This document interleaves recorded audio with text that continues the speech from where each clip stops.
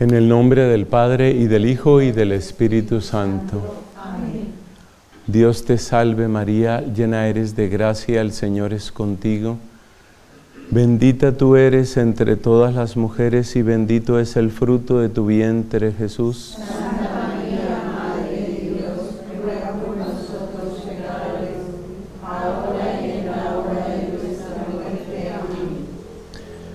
En el nombre del Padre y del Hijo y del Espíritu Santo. Amén. Dios nos ha llamado a una vida feliz, fecunda y libre. Dios nos quiere libres, libres de las ataduras del pecado, de los pensamientos perniciosos, del poder de los vicios, de las manipulaciones del mundo, de todo eso nos quiere libres Dios. Dios nos quiere felices.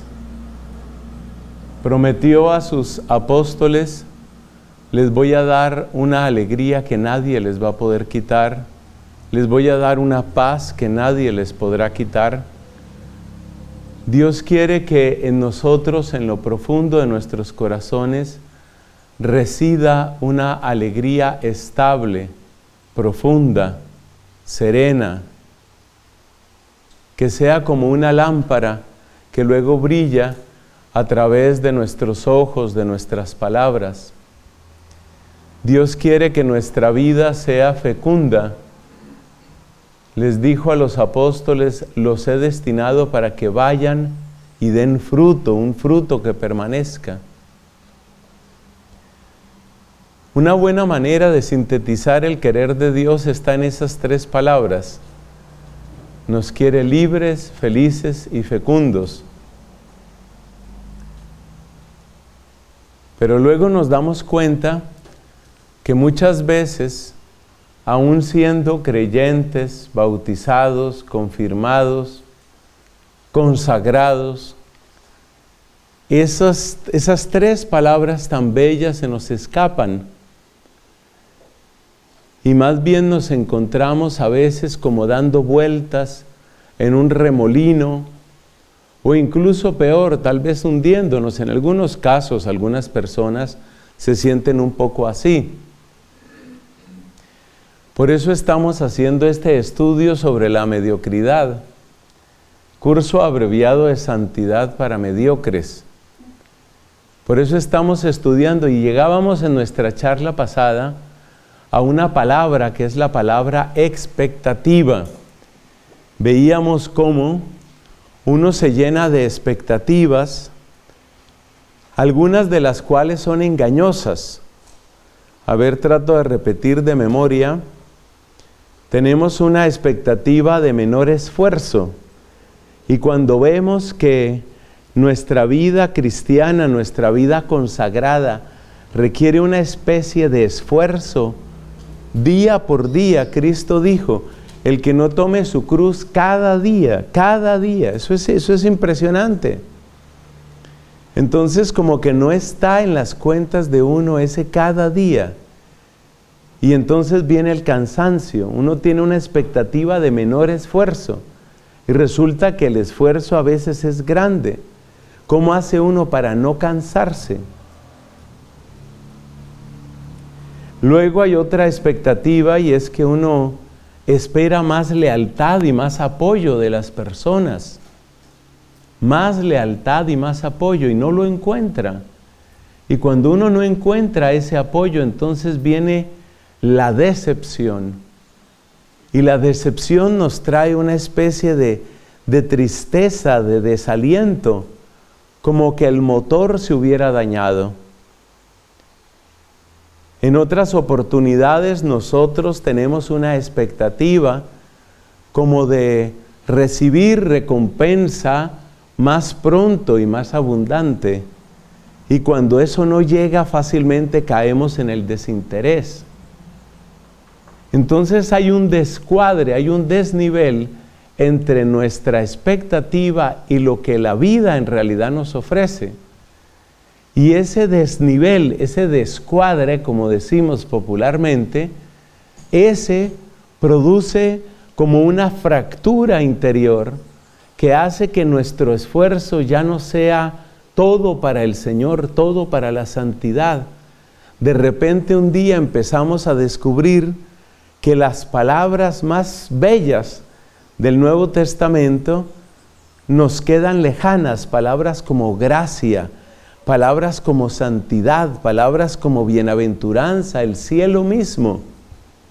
Esto no le pasa a todas las personas. Seguramente hay personas que mantienen durante su vida un alto nivel espiritual, pero muchos de nosotros hemos sufrido y hemos caído. Y entonces yo quiero dirigir mis palabras sobre todo a aquellos que hemos tenido o que estamos teniendo esa experiencia, esa experiencia de perder hasta cierto punto el horizonte, de decir, hombre, la santidad, pues sí, pero, pero, como decía una vez un padre, por allá estábamos en un retiro en otra ciudad, varios dominicos, y entonces el predicador hacía lo posible, pobres predicadores, el predicador hacía lo posible por hablarnos de la santidad.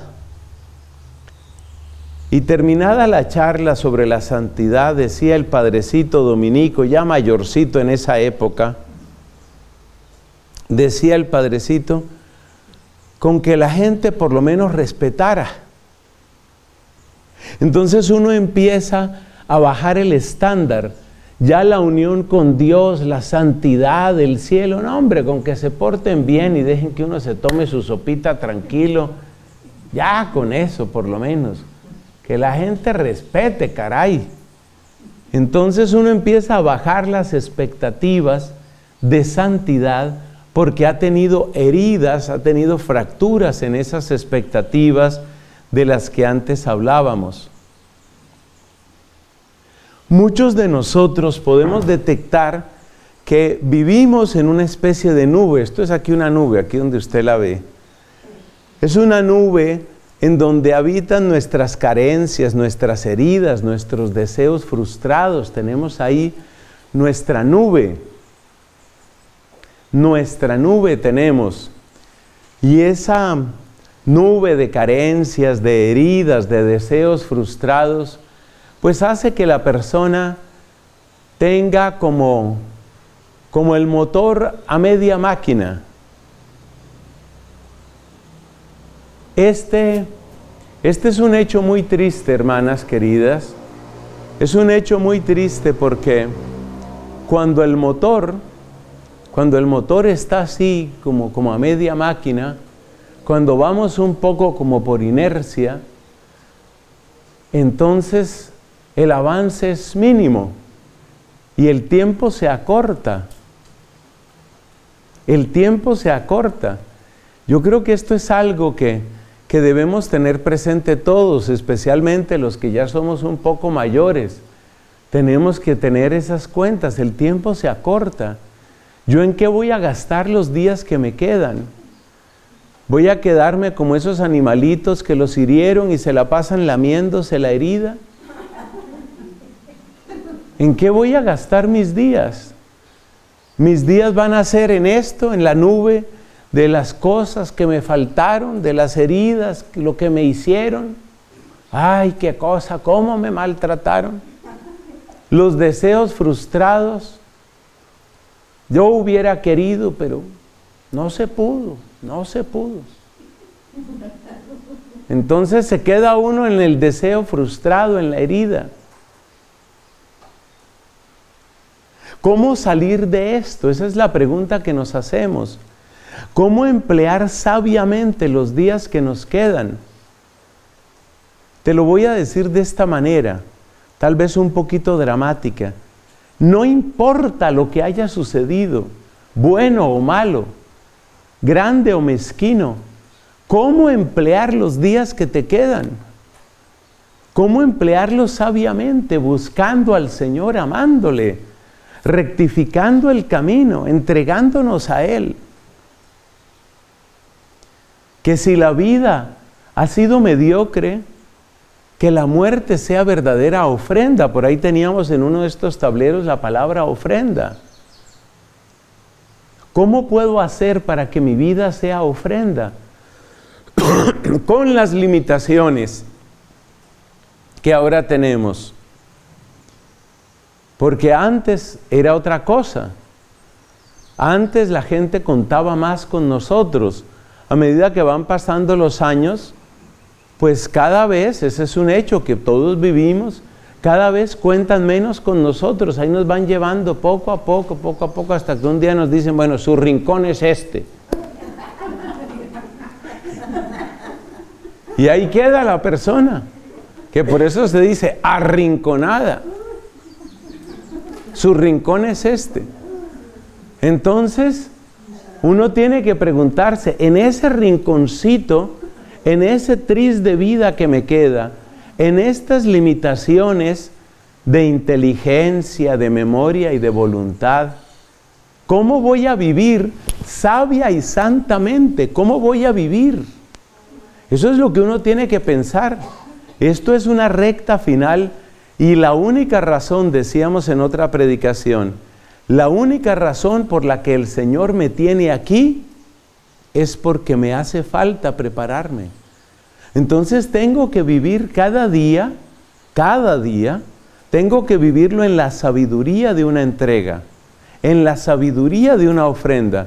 Yo no me puedo quedar simplemente dándole vueltas a las carencias, las heridas, los deseos frustrados, dándole vueltas y vueltas a las cosas.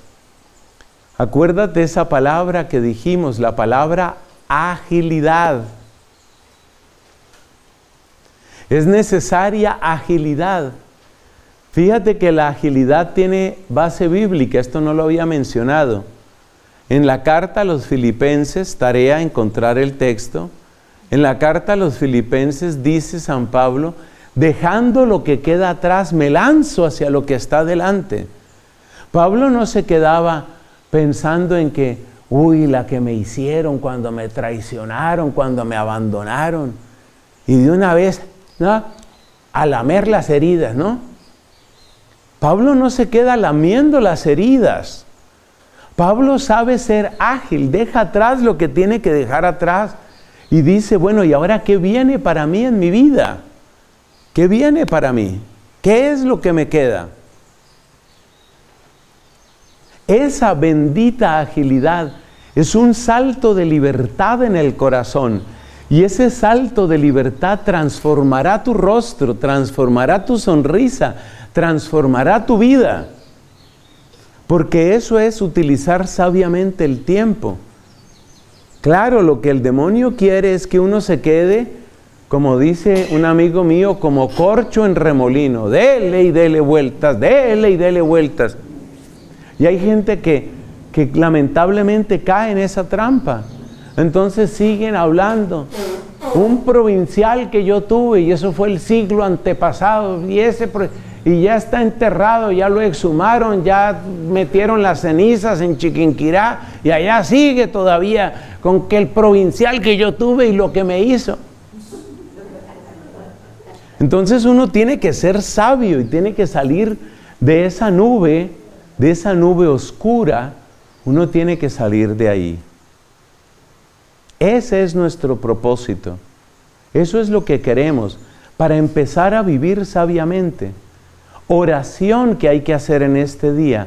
Señor, dame el don de la agilidad. Entregar lo que hay que entregar al pasado. Que me fallaron, sí, y yo fallé, también, también. Para eso existe el sacramento de la confesión, para eso existe la oración. Me fallaron, yo fallé, se deja atrás, dejando atrás el pasado, me lanzo hacia lo que está delante, nos dice el apóstol San Pablo. Ese trabajo, ese trabajo de liberación interior, porque esto es liberación interior, lo vamos a ver siguiendo el esquema de San Agustín y de Santa Catalina de Siena. estos dos grandes santos y doctores de la iglesia, nos hablan de tres potencias.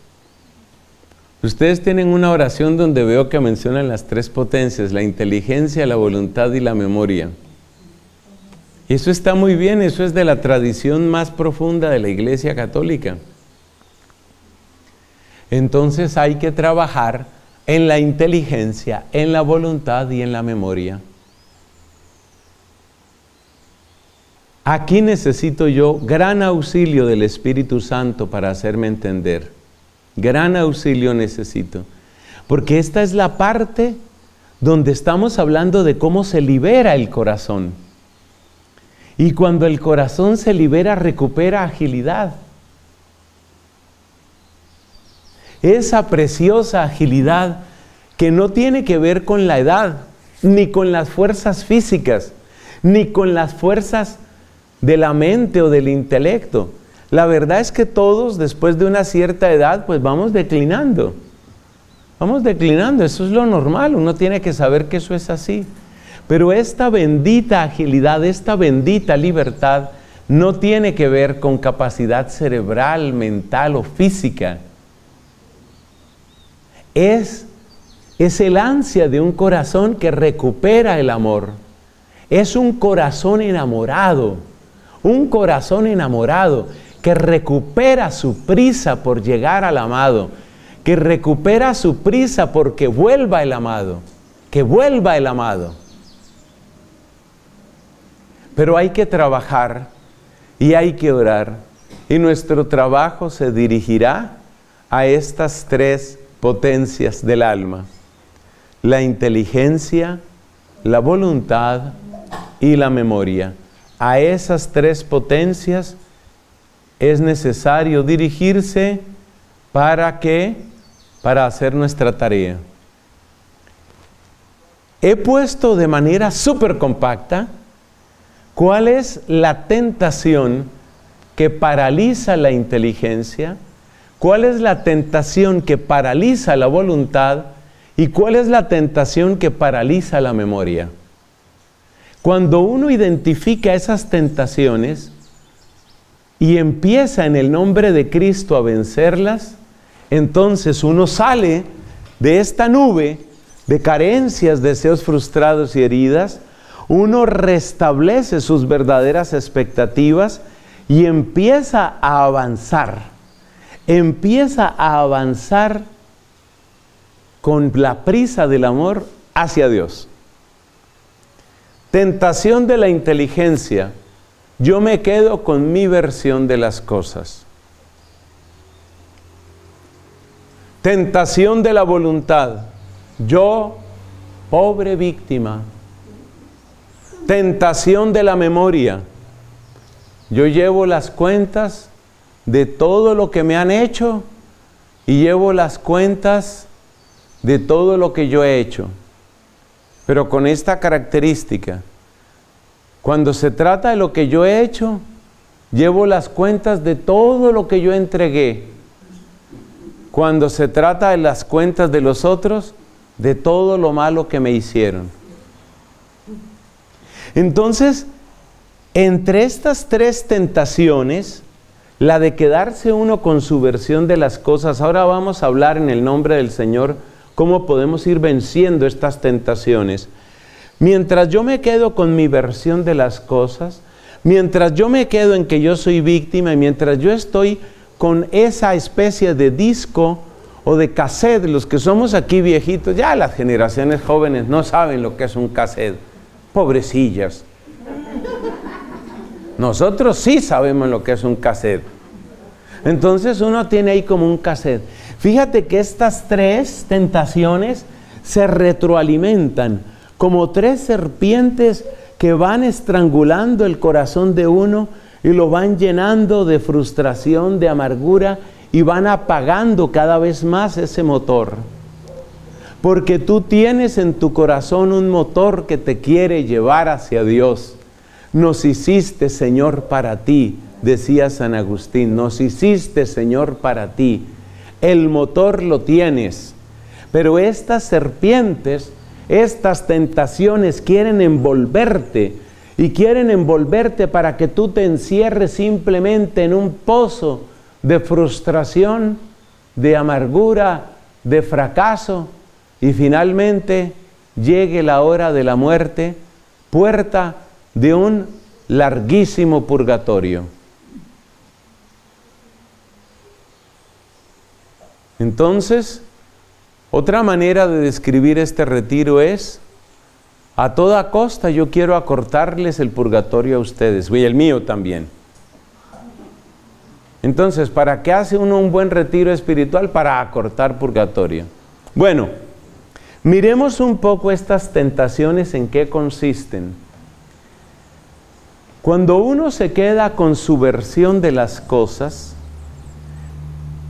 se queda con una sola mirada. Y es muy importante darse cuenta que la verdad no está en una sola mirada, a menos que fuera la mirada de Cristo. Los ojos de Cristo, que es la verdad en persona, eso es otra historia. Pero es muy importante tener en cuenta que la versión que uno tiene de las cosas siempre es incompleta. Por más que yo diga que te conozco, por más que yo lo diga, hay demasiado de ti que yo no sé. Ni de tus intenciones, ni de tus propósitos, ni de tus dolores, ni de tus búsquedas. Yo no sé eso. Y por eso nosotros, de una manera consistente y constante, nos equivocamos al juzgar de las otras personas. Porque nosotros nunca tenemos todos los elementos de juicio, nunca.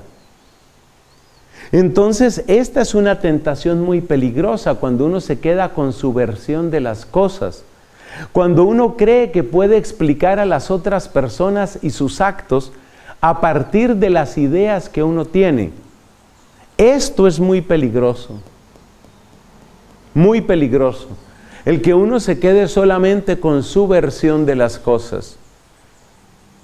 Muchas veces nosotros no entenderemos por qué otras personas nos dijeron o nos hicieron aquello que a nosotros no nos gustaba. Pero es muy peligroso quedarse uno con su sola versión de las cosas. Necesitamos superar esa idea. Es decir, necesitamos descubrir que nuestro conocimiento es incompleto y es imperfecto. Hay que decir con más frecuencia la frase, en realidad no lo sé. O todavía mejor esta otra frase, solo Dios sabe todo lo que sucedió. Solo Dios sabe por qué pasó lo que pasó. Esa frase, esa frase, esa sí que nos libera. Nos dice el profeta Jeremías capítulo 17, texto que citamos con frecuencia, nada más falso y enfermo que el corazón, ¿quién lo entenderá? Y dice, yo el Señor penetro el corazón, sondeo las entrañas para dar al hombre según su conducta. Solo, solo Dios, solo Dios conoce realmente lo que hay, solo Dios lo conoce. Entonces uno tiene que poner a raya la propia inteligencia. La primera carta de Juan dice, Dios es mayor que nuestra conciencia. Son palabras que nos invitan a la humildad y a la auténtica sabiduría. Solo Dios sabe qué es lo que ha pasado. Solo tú, Señor, tienes la versión completa. Hay muchas cosas que yo no sé, hay muchas cosas que yo no entiendo. Mira, confesar la propia ignorancia y remitirnos al querer y al saber de Dios es la primera gran liberación. ¿Qué fue lo que pasó cuando me dijeron tal cosa, cuando me hicieron tal cosa, cuando me excluyeron, cuando no me tomaron en cuenta? Todo eso que muchas veces lo va llenando a uno de heridas y de deseos frustrados. Solo Dios sabe Solo Dios sabe de qué lo está librando a uno. Solo Dios lo sabe. Hay un meme que circula bastante en redes sociales y que me parece que tiene mucha sabiduría, encaja con lo que estamos diciendo aquí. Algunas personas, esto tiene varias versiones, yo le cuento aquí una. Dice así esta frase, algunas personas se irán de tu vida como respuesta a la petición que hiciste, líbranos de todo mal. A veces, a veces uno siente gran pesar, ay, tal persona que se fue, tan desagradecido, tan desagradecida, tan desleal. No digas eso. Tú no tienes la versión completa. Entonces, frases que lo liberan a uno aquí, yo no tengo la versión completa, solo Dios sabe. Solo Dios sabe por qué pasa lo que pasa. Solo Dios sabe de qué me está librando. Solo Dios sabe por dónde me está llevando. ¿Cuál era el peligro que me acechaba allá? ¿Cuál era la tentación en la que yo iba a caer? ¿Cuál era el pecado que ya me tenía la trampa lista? Solo Dios lo sabe.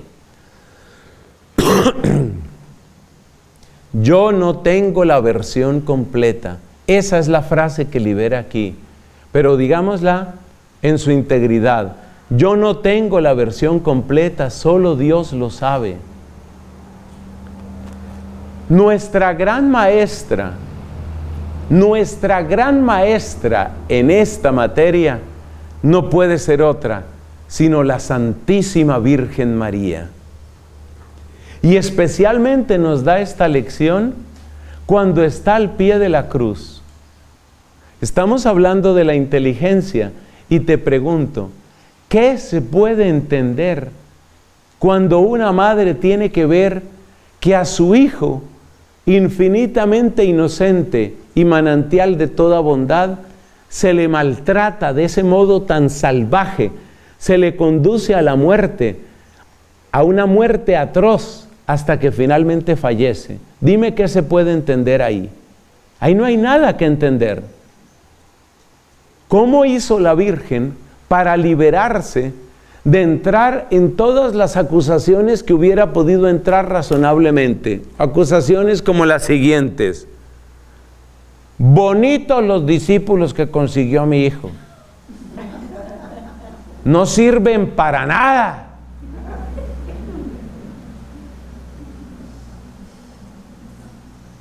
Y estos torturadores, estos sádicos, este centurión, Usted sabe que el centurión estaba ahí con un propósito, evitar que la gente tuviera cualquier acto de compasión hacia los condenados.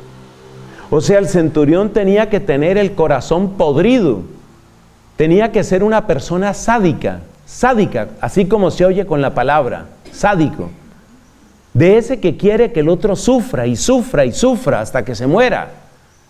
Esos eran los que acompañaban a la Virgen ahí y los otros que lo habían crucificado, y los ladrones echando blasfemias, y luego los discípulos lejos. ¿Qué había en la mente de nuestra Madre Santísima? ¿Qué había en ese corazón, en esa inteligencia, mientras todo ese espectáculo de tragedia, de horror, sucedía ante sus ojos? Solamente una palabra es razonable imaginar que estaba en su mente. Solo Dios sabe, solo Dios sabe, solo Dios sabe por qué y para qué. Esa frase preservó a la Virgen de pecado. Porque acuérdese que el demonio tenía como objetivo principal en el momento de la cruz apartar a Cristo de la voluntad del Padre. Ese era el propósito central del demonio.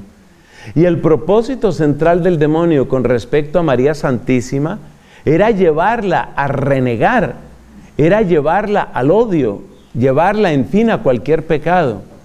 ¿Cómo pudo María pasar por tan estrecha puerta y no caer en pecado?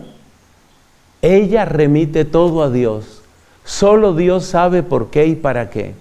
Y yo no perderé tiempo tratando de imaginar que lo sé todo. El único que lo sabe todo es Él.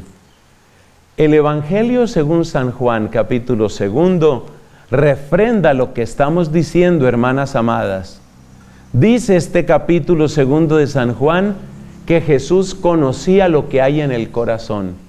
Cuando usted relaciona Juan capítulo 2 con Jeremías capítulo 17, ahí tiene un texto más que habla de la divinidad de Cristo.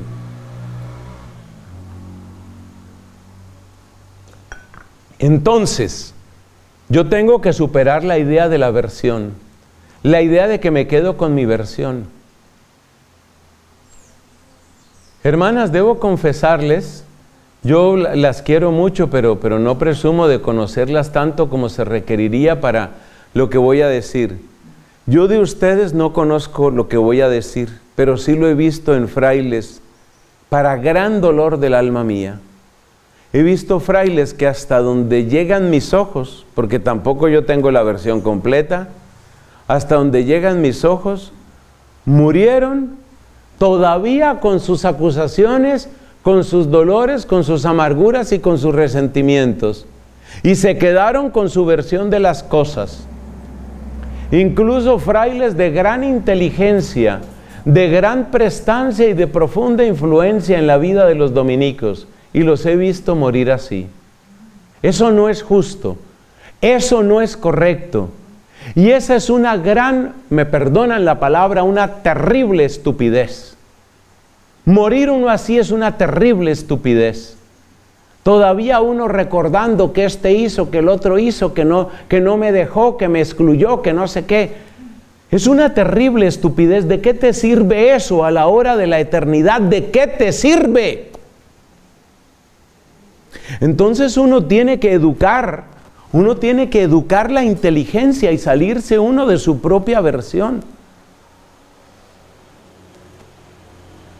Hermanas, hay que lavar, hay que lavar la mente, hay que lavar el corazón. Jesucristo, después de tres años de predicación, les dice a los apóstoles, vosotros estáis ya limpios por las palabras que os he dicho. Las palabras de Cristo son como un manantial que cuando va cayendo y cayendo y cayendo lo va limpiando y lo va limpiando a uno, hasta el punto de dejar el corazón limpio. Pero quiero destacar que fueron años de predicación de Cristo.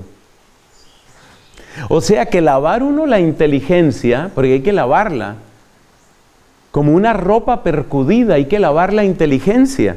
Si usted lleva años repitiendo su propia versión, usted necesita lavar su inteligencia, lavarla. Obsérvese lo que dice el Apocalipsis. Estos son los que se han blanqueado en la sangre del cordero. Entonces, usted por favor haga propósito en este santo retiro que Dios nos concede, haga propósito de lavar su inteligencia. ¿Y cómo lava usted su inteligencia? Pues a ver, ¿cómo se percudió? A mí me encanta la comparación con la ropa. ¿Cómo se percudió la inteligencia? Se percudió porque usted repitió demasiadas veces su versión. Ahora tiene que repetir muchas veces, pero muchas veces tiene que repetir, en realidad solo Dios sabe. Solo Dios sabe por qué y para qué. Ese tiene que ser su estribillo. Y créame, hermana, lo digo un poco por experiencia propia, que a veces tiene uno que repetir esa frase, no decenas de veces, sino centenares y miles de veces, hasta que la inteligencia se lave, hasta que se limpie la mente. Sí es posible, sí es posible lavar la inteligencia. Es necesario que nuestra inteligencia se limpie, se despercuda. ¿Y cómo sabré yo cuando la inteligencia está despercudida? Hay dos señales inequívocas. Primera señal, cuando tenemos la disposición para oír a otras personas, porque ya estamos convencidos de que no tenemos la verdad completa. Esa es una señal muy importante. Y otra señal muy importante que conecta con lo que luego vamos a decir de la memoria, otra señal muy importante es que usted empieza a recordar pero ya con una paz tan grande, ya eso no le afecta, ya eso no tiene poder sobre usted. Ya usted empieza a ser una persona libre. Esa es libertad. Eso es lo que Dios quiere darnos. Entonces, ¿cuál es la respuesta frente a este tema de la inteligencia? La respuesta es que hay que lavar la inteligencia. ¿Y cómo lavo la inteligencia? Aquí cerca tenemos este arroyito que me encanta, me encanta cómo suena esa agua que cae, porque yo siento es así como Dios nos va limpiando, limpiando, limpiando. Así tiene que caer sobre mí, que caiga, que caiga sobre mí esa agua de su palabra, esa agua de su espíritu, que caiga sobre mí, que se vuelva un manantial en mí, que me limpie. Es muy peligroso uno morir con la inteligencia sucia, muy peligroso. Porque nosotros hemos de morir con los ojos dispuestos a contemplar al Dios eterno. Hemos de morir con los ojos preparados para ver la luz sin mancha, para ver la belleza incomparable. Eso es lo que nosotros queremos, queremos morir así. Esa es la muerte. Entonces, ¿qué tengo que hacer? Repetir muchas veces, con frecuencia, repetir. En realidad solo Dios sabe. ¿Por qué me sucedió lo que me sucedió? Solo Dios lo sabe. A veces Dios le da a entender a uno algunas cosas. Como dices el apóstol San Pablo, Dios nos entrega arras y nos da así como pequeñas señales que le ayudan a uno a entender, ah, por esto fue que me pasó. Lo que yo consideraba una desgracia, en realidad era una bendición. A veces pero Dios no está obligado a darme explicaciones. Basta con que yo diga una y muchas veces, solo Dios sabe por qué. Yo eso se lo entrego al Señor. Yo eso te lo dejo a ti, Señor. Yo eso te lo entrego. Mire, haga el ejercicio. Haga ese ejercicio. La próxima vez que vaya al Santísimo, acuérdese del pasaje del profeta Daniel donde se habla de un río que sale del altar. Ese pasaje es famoso. El río que sale del altar. Usted piensa en el río que sale del altar, el río que sale del sagrario, el Cristo que emana sangre y agua. Usted piensa en ese Cristo, póngase delante del Santísimo y suplíquele con amor, lávame inteligencia, lávame, lávame. Usted llegará a experimentar, se lo puedo decir por experiencia propia, usted llegará a experimentar una paz muy grande, muy grande, una paz incomparable y una libertad interior, como si usted en ese momento pudiera empezar a alabar a Dios con todo su ser. Eso es prepararse para la eternidad. Entonces yo tengo que salir de mi versión. Tengo que salir de mi versión. No me puedo quedar solo con mi versión de las cosas. Mi versión siempre es incompleta, siempre, siempre.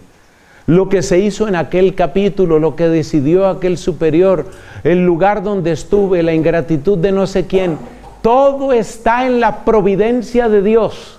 Y en todo me estaba formando y modelando mi Señor, en todo. Y yo le creo a Él y yo me apoyo en Él. Y yo sé que solo tú tienes la verdad completa, mi amado Señor. Y me quedo con eso. Y eso lo repito muchas veces. Y cuando estoy ante el Santísimo, me siento como si estuviera frente a esa cascada. O si quieres imaginarla más grande y que esa agua cae, cae y me lava y me lava. Porque quiero ser libre, porque quiero tener agilidad agilidad. ¿Sabe que en el libro del Apocalipsis hay otro pasaje que habla de la agilidad? Bendita memoria de mi padrecito, aquel que me hizo tanto bien en esa confesión. Fíjese, una buena confesión lo que le sirve a uno. En el libro del Apocalipsis se habla de aquellos bienaventurados y se dice, estos son los que siguen al Cordero donde quiera que vaya. Y Lucas capítulo 9 nos dice que Cristo tiene paso resuelto y ágil. Acuérdate donde dice, tomó resueltamente el camino a Jerusalén. Y Lucas dos veces nos dice que Cristo era el que iba por delante. Él va prontico, prontico, ágil. Y el Apocalipsis dice, estos van con Cristo donde quiera que vaya. Entonces Cristo no está para mimar a la gente que quiere lamerse las heridas. Cristo no está para eso. Esto es con agilidad. Pronto, pronto. De madrugada ya estaba despierto y estaba orando y Pedro le dice, mira, te están buscando. Y él dice, pronto, pronto, hay que ir a otros pueblos. Hay que llevar el Evangelio a otras partes. Pronto, ágil, ágil. A moverse, a moverse. Hay que seguir el camino. No nos podemos detener en el camino, hay que seguir el camino. Bueno, eso en cuanto a la inteligencia. Hablemos un poquito de esta tentación de la voluntad. Esa tentación nos acecha en varias etapas de nuestra vida. ¿Por qué es tan fuerte la tentación de creerse uno víctima? porque es algo demasiado cómodo. Mira, creerse uno víctima es muy sabroso. Porque cuando uno es víctima, uno ya tiene la explicación de por qué uno, por qué uno no avanza. ¿No ve que no dejan avanzar?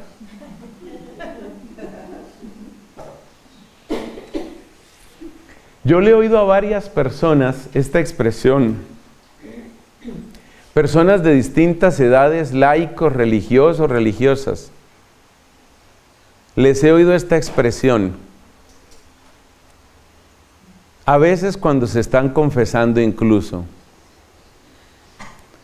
Es que fulano de tal o fulanita de tal me hace rabiar, oiga, fíjese, me hace rabiar o sea que la culpa está afuera. Yo, inocente criatura, a la que hacen rabiar. Pero no solo eso, me hace rabiar y me hace perder la comunión. Cuando yo comulgo, inocente paloma, recibo la gracia de Cristo. Pero luego esa porquería me hace perder la comunión. No es que me hace rabiar, me hace perder la comunión. Entonces, ¿qué quiere decir eso? Que yo soy inocente. Inocente criatura. Yo hago lo que puedo. Lo que pasa es que no me dejan. No me dejan. Hermana, pero usted vino para ser santa. Sí, pero no dejan. No dejan. Yo sí quiero ser santa, pero no dejan. Oiga, esa frase es tan, es tan, es tan compleja, es tan compleja. Trate de analizarla y usted verá que es una frase bien compleja. Yo quiero ser santa, pues lo pongo así en femenino por el auditorio aquí presente, pero igual pasa con hombres. Yo sí quiero ser santa, pero, pero no dejan. Caramba, ¿qué habrá? ¿Qué habrá detrás de esa frase? Piénsela un momento. Quizás usted la ha dicho. Piense un momento esa frase. No dejan. Entonces, ¿cómo es la santidad? ¿Cómo es la santidad que usted imagina? Esa es una buena pregunta para cuando la persona dice, no, no, no dejan ser santa. Yo sí quería ser santa, pero esa me hace rabiar y pierdo la comunión, pierdo todo. Desastre. ¿Qué idea de santidad hay ahí? Piénselo un poquito más. Le doy tiempo para que lo piense. Por favor, excogite analice allá en lo más profundo de su cabecita qué idea de santidad hay ahí. Eso de que para que yo sea santa se necesita que ayuden. O sea, usted hágame el favor de no contradecirme. Usted hágame el favor de no disgustarme. Usted por favor no me vaya a decepcionar. Usted no vaya a fallar. Y una vez que usted no falle, usted no me decepcione y usted no me contradiga, yo voy a ser santa. ¿Cierto que hay algo raro en esa idea de santidad? No solo hay algo raro, hay varias cosas muy raras en esa idea de santidad. Hay, varias cosas muy raras. Porque, a ver, se supone, se supone que la santidad es una victoria.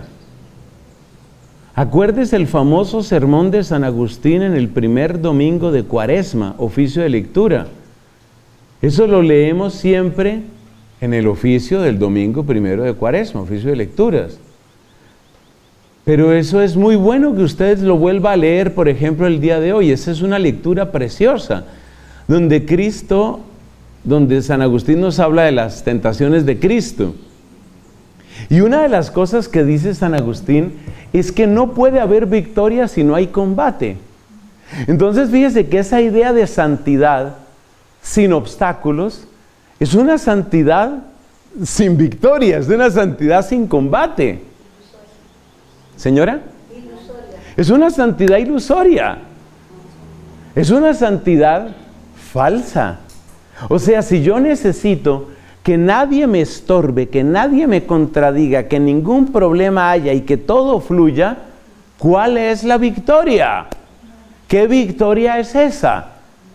Entonces, la gran autoridad de Agustín nos muestra que no puede hablarse de santidad cuando todo está a mi favor. Es indispensable que haya contradicción, que haya tentación, que haya disgusto, es indispensable. Entonces fíjate que esa mentalidad de víctima en el fondo esconde lo que aquí nos dice la hermana, una santidad ilusoria, es una mentira. Pero es una mentira muy cómoda. De hecho, esa mentira es la que lo mantiene a uno amarrado a la mediocridad. Porque es que no dejan no dejan. Mire, yo estuviera en otra comunidad y yo volaba, volaba en santidad. Pero como me tocó con esta gente, entonces me arrastro. Me arrastro porque no puedo volar. Yo estoy hecho para volar en santidad, pero no dejan, no dejan. Me hacen perder la comunión. Entonces, Sentirse uno víctima es muy cómodo. Y esto pasa no solo en la vida religiosa, esto pasa también en la vida matrimonial. Y por seguir dando ejemplos femeninos, esto pasa muchas veces. Esa es la historia de aquella mujer que lleva sus cuentas de las fallas, los errores, los problemas, los pecados del esposo porque ese son un capital muy útil. Es un capital muy provechoso para que en el momento de la discusión ahí le saco, vea. Acuérdese que usted hizo esto y esto y esto, y aquí tengo más todavía. Entonces, el sentirse uno víctima es muy cómodo para justificar uno su propia mediocridad y para tener siempre algo que acusar de los otros, con lo cual no se sienta uno demasiado mal. Pero bueno, nosotros estamos buscando remedios. ¿Cuál será el remedio para este creerse uno víctima? Bueno, eso ya está estudiado hace mucho tiempo, de eso nos han hablado los santos. Y el remedio es triple. ¿Cuál es el remedio de que para, para, los que tenemos tendencia de creernos víctimas y de decir que todos nos hacen perder la comunión? Remedio triple. Primero, ¿qué nos propone la iglesia? Que cada día examinemos nuestra conciencia. Es decir, Empieza por recordar tu pecado. Eso es lo primero. Empieza por recordar tu pecado. Declararse uno víctima inocente es un desastre. Empieza por reconocer tu pecado. Segundo, hay que pedir sanación. Porque estas palabritas que he puesto por aquí arriba no están de adorno Hemos tenido carencias a veces desde la infancia. Y claro, nosotros cristianos no tenemos nada que ver con esa palabra karma que se utiliza hoy tanto. Esa no es nuestra fe. Pero hay algo que está en la idea de karma que es real. Y es que esto siempre sale. Siempre sale. Jesucristo nuestro Señor murió desnudo. La enfermedad, la vejez, la tentación, la muerte, siempre nos desnudan. Siempre al final, siempre al final, uno aparece como es, con todas sus debilidades, sus egoísmos, sus mañas, sus vicios, si, si tiene pensamientos oscuros o impuros, todo sale, todo sale. En la vejez, en la enfermedad, en la tentación, en la prueba o en la muerte, todo sale. Por eso, por pudor, me permito recomendarle, limpie su corazón ahora, porque su corazón quedará desnudo más tarde o más temprano. El corazón se desnuda porque se desnuda. Hay una conferencia que vi en internet donde una doctora habla de su padre que sufrió un Alzheimer. Y ella describe el efecto del Alzheimer como el que va pelando una cebolla, va quedando finalmente como un núcleo. El Alzheimer te va quitando muchas cosas, muchas cosas, pero va quedando como un núcleo. Y en ese núcleo estará seguramente tu bondad, pero también estará aquello que no limpiaste, que no pacificaste, que no sanaste en tu vida. Entonces uno tiene que pedir sanación. Y ese es otro, otro motivo por el que uno necesita lo que aquí decíamos, ese lávame. Lávame, límpiame, Señor, límpiame. La vida me va a desnudar. Al fin va a aparecer mi egoísmo, mi impureza, mi mentira, mi orgullo, al fin va a aparecer. Finalmente todo sale, todo brota, todo aparece. Límpiame, Señor.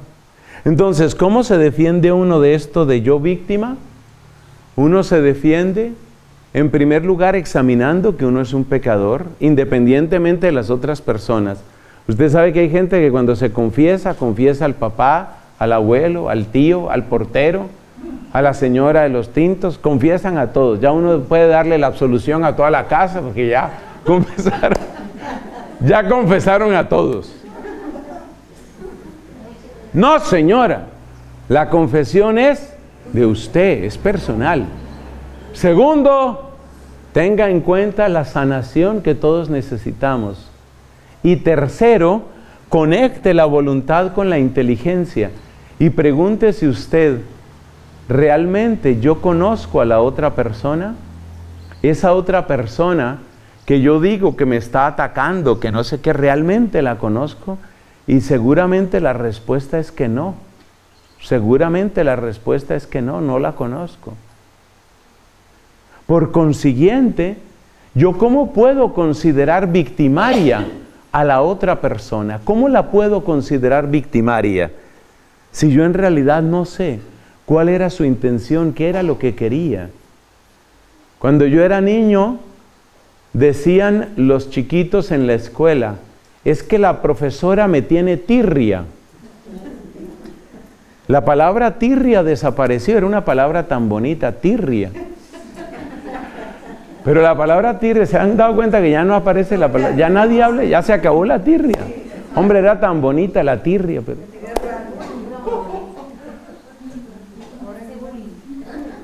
Entonces, bronca, ah bueno, gracias. Ahí me voy actualizando poco a poco. Entonces, uno no sabe, eso no es que me tienen tirria, es que uno no sabe qué está viviendo la otra persona. Y eso le ayuda a uno a dejar de sentirse víctima. Por supuesto, también está el remedio que propone Santa Teresa de Calcuta. El remedio es, vuelve siempre tus ojos hacia los que sufren más.